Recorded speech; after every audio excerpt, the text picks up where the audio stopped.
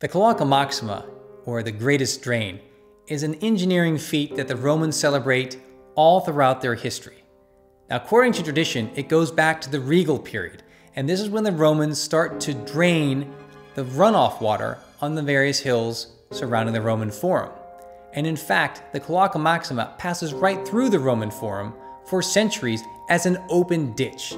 We actually have a nice description of it in the second century BC by the author Plautus. But by the time of Augustus, the Cloaca Maxima goes underground.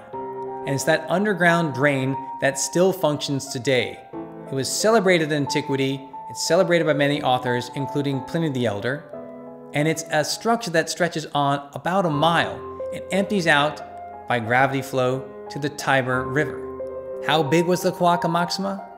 Well, according to tradition, it was so large that Agrippa, when he does modernize the Cloaca Maxima in the age of Augustus, can go and inspect it by boat standing up. Parts of the Cloaca Maxima are visible and accessible today. What's it made out of? It's made with blocks of cut stone, the tuff, the local bedrock, the volcanic stone of ancient Rome. Now, the difficulty in these kind of drain systems is that when the Tiber was in flood, the water would go backwards up to its point of origin. And so in antiquity, on occasion, even the Roman Forum, the heart of the ancient capital, the heart of the empire, was under several meters of water.